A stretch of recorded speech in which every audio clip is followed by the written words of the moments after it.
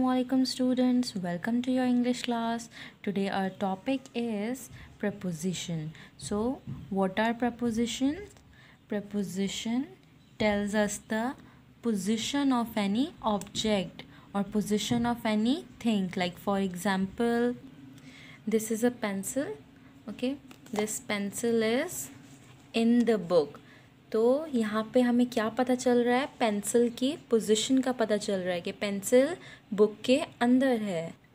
These are books books are on the table यहाँ पे हमें बुक्स की पोजीशन का पता चल रहा है कि बुक्स टेबल के ऊपर हैं।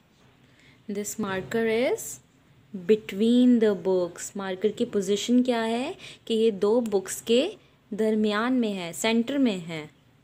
So on in at behind between in front of under these all are called preposition okay now let's make some sentences using preposition okay, students तो आपको ये वेब जो है वो अपनी कॉपी में कॉपी करना है with proper date and day okay okay make sentences using preposition first is the books are on the table यहाँ पे हमने कौन सा प्रपोजिशन यूज़ किया है?